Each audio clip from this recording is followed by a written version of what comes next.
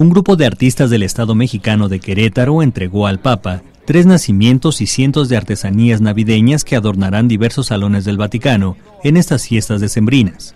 Al final de la audiencia general de los miércoles, en el aula Pablo VI, Francisco se acercó a la delegación para saludar a la comitiva encabezada por el gobernador queretano, Francisco Domínguez Servién, y el obispo Faustino Armendáriz Jiménez.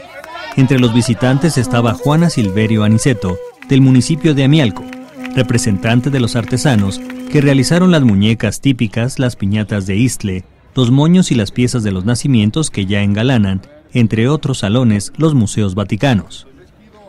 En pleno Vaticano, se lucieron los danzantes aztecas del grupo Aztlán y cinco muñecas gigantes conocidas como mojigangas, realizadas por el artista Hermes Arroyo, del municipio de San Miguel de Allende, en Guanajuato. Una vez concluida la audiencia general, se inauguró la exhibición de fotografías ubicada en la Vía de la Conciliazione, en la cual estuvo presente el embajador mexicano en Italia, Juan José Guerra Abud. Con información e imágenes de Andrés Beltramo, corresponsal en el Vaticano, Notimex.